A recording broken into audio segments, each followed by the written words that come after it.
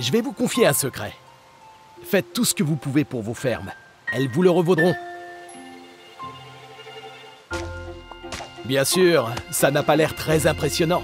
Mais revenez me voir à la fin de l'été. Vous me trouverez avec un sourire de la taille d'une corneléneuse adulte. À Azoria, la magie ruisselle des toits. Mais ce n'est pas pour autant que tout se fait en claquant des doigts.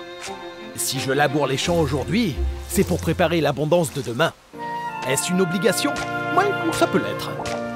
Mais j'ai les outils parfaits à ma disposition. Car c'est grâce à nos efforts que nos récoltes sont aussi généreuses.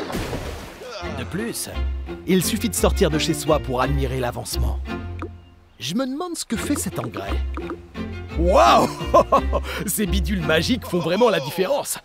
Pour certains, ce n'est qu'une graine, mais moi j'y vois un potentiel illimité. Je vois des emplacements de 5 sur 5 pour une économie évolutive. Je vois la restauration. Je vois la transformation. Des bébés mamous qui cohabitent avec des pouleux et autres. Des récoltes pour nourrir ces animaux qui grandissent ensemble. Une culture où le savoir est partagé pour que chacun puisse trouver sa voie. Une harmonie naturelle à laquelle j'aurais contribué. Toute ma vie repose sur les promesses du lendemain. Et je profite de chaque minute de ce jour.